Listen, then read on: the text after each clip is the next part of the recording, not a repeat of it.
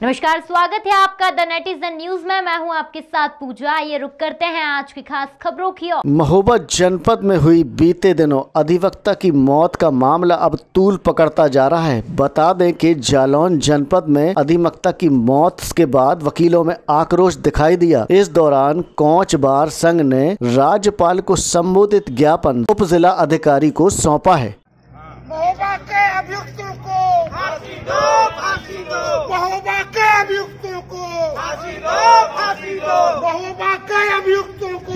फांसी दो फांसी दो। हेड प्रशासन मुर्दाबाद मुर्दाबाद हेड प्रशासन मुर्दाबाद मुर्दाबाद मुर्दाबाद पुलिस प्रशासन मुर्दाबाद मुर्दाबाद जिंदाबाद बार एकता जिंदाबाद क्या मामला था ये आपने किस चीज़ का ज्ञापन दिया है? महोबा में महोबा ज़िले में। भाई साहब तुम बोला बने खड़े रह पाठक जी जो अधिवक्ता हैं उन्होंने वहाँ के दमंग लोगों के उत्पीड़न से क्षुब्ध होकर सुसाइड की है।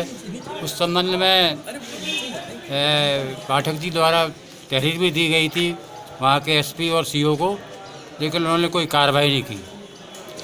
इससे क्षुब्ध होकर उन्होंने सुसाइड कर ली। इसके अलावा भी अभी जनपद ए, जालौन में एक श्रीवास्तव जी अधिवक्ता हैं। उनके खिलाफ भी पुलिस ने उनके साथ दुर्व्यवहार किया और उनका चालान कर दिया।